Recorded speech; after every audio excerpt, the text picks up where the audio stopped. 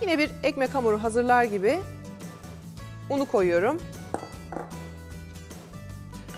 Maya, şeker ve tuzlu kattıktan sonra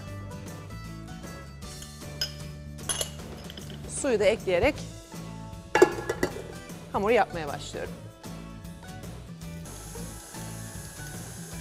Unun topaklanmaması için suyu yavaşça ilave edeceğim.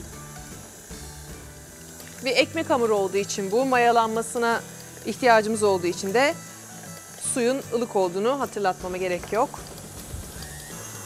Yaklaşık 2-3 dakika bu şekilde karışmasını bekliyorum. Daha sonra geri kalan unu ilave edeceğim.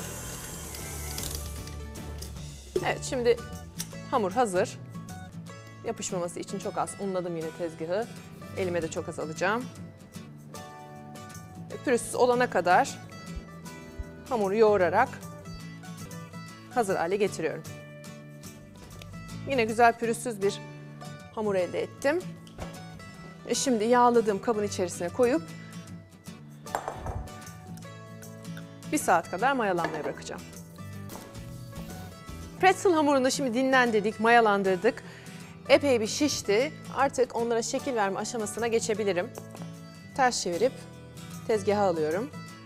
Ve birkaç kere yumuşak hareketlerle hamura vurup içindeki havayı alıyorum. Zarf şeklinde ortaya doğru katlıyorum. Ve tekrar ters çevirip bu hamurdan küçük parçalar koparıyorum.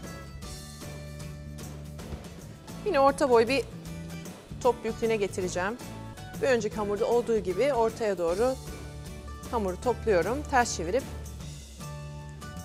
tekrar bir yuvarlak şeklini veriyorum. Bu şekil verme aşamasında hamurun kurumaması için hem beklettiğim hamurun üstüne hem de sonradan şekil verdiğim hamurların üstüne bir bez serpebilirsiniz. Pişirme kağıdı koyabilirsiniz. Daha önceden yağladığım bir pişirme kağıdı bu. Hem bu hamurun üstünün kurumasını sağlar, kurumamasını sağlar. Hem de tekrar mayalanıp şişmesi için bir fırsat verir. Evet, şimdi yuvarlak şekillerini verdim. Şekil verdiğim hamurlardan birini alıyorum. Ve bunu bir silindir şekline getiriyorum. Ortadan hafif bastırarak kenarlara doğru kuvvet vererek şu şekilde yaklaşık 30 santim kadar bir silindir haline getiriyorum. Açtıktan sonra eğer hamur içeri doğru kendini çekmiyorsa bu hazır vaziyette demektir. Şimdi iki tane katlama şekli var. Pretzel'a şekil verme yöntemi var. Birincisini göstereyim size. Yaklaşık 30-35 santime geldikten sonra iki ucunu ortaya gelecek şekilde birleştiriyorum.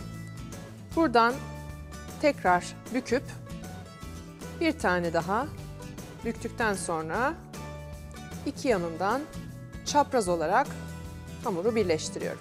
Şu şekilde. Bir diğer şekil ise bir kere çevirip şu şekilde çapraz olarak bunu da alttan hamurla birleştiriyorum. Şimdi bu hamurları da bir 20 dakika kadar böyle bırakacağım. Bu kaynayan suyun içine 2 kaşık kadar karbonat ilave ediyorum. Hazırladığım pretzelları 30 saniye kadar bu kaynamış suyun içine koyuyorum. Daha sonra sudan alıyorum bir kevgir yardımıyla.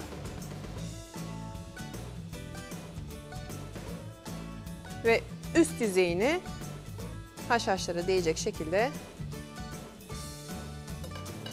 batırıyorum. Ve pişireceğim. Fırın tepsisine koyuyorum. Şimdi 180 ile 200 derecelik fırında üstleri pembeleşinceye kadar 18 ile 20 dakika arası bunları pişirmeye alıyorum.